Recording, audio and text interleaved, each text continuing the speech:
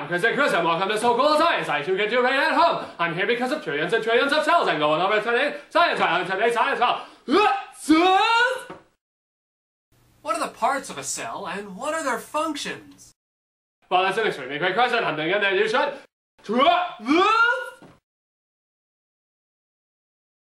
You will need a plastic bag, some assorted candy, and some corn syrup.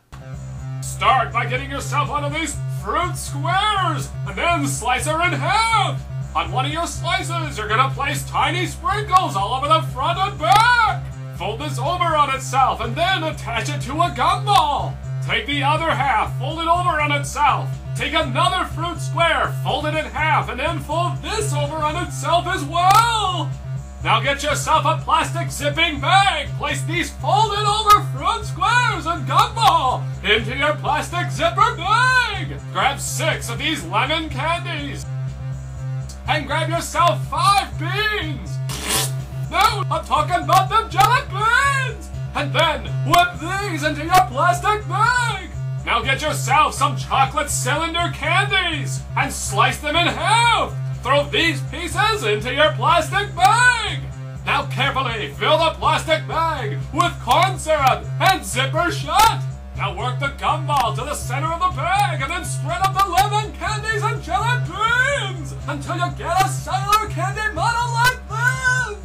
Oh yeah, now that's what I call a super wicked cell model. So, what do each of the pieces of candy represent? And what are their function? Well, don't look at me. Take a closer look at this. The cellular plasma membrane is a boundary between the cell and the environment. It allows particles to enter the cell, such as your digested food and oxygen, as well as remove waste like urea and CO2. It's also responsible for allowing several cells to work and bind together. The cytoplasm is a semi-fluid made up of 65% of water as well as digested nutrients and minerals. It provides an environment for the organelles to do their chemical reactions. The nucleus is the control center of the cell and holds the strands of DNA.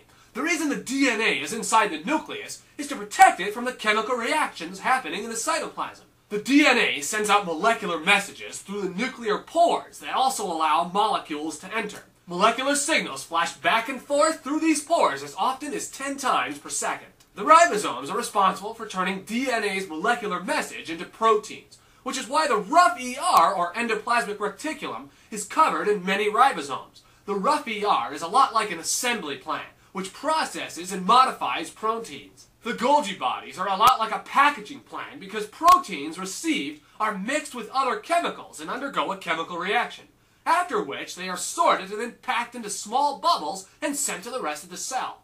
Lysosomes contain digestive enzymes which digest food particles and also act like a garbage and recycling plant. They gather up waste products in the cytoplasm, digest them. They also recycle old organelles by deassembling the parts so that they can be reused by making new organelles. The mitochondria are a lot like the power plant of the cell because they are responsible for creating energy through a chemical reaction by burning proteins to create energy. The more active the cell is, like muscle cells, the more mitochondria will be found. The smooth ER doesn't have the ribosomes like the rough ER, and it acts like a detox center such as those in the liver cells which detoxify chemicals found in the cytoplasm. Eukaryotic cells evolved from primitive prokaryotic cells which lost their cell walls. This allowed the membrane to expand and fold. The mitochondria in animal cells and the chloroplast in plant cells were primitive prokaryotic free-moving bacteria, which were engulfed into the cell. Instead of digesting these bacteria, the cell maintained them these new cells evolved into the eukaryotic animal and plant cells we know today. So now you know the parts of a cell and their function. You know, making a candy cell model that you can eat right at home is what science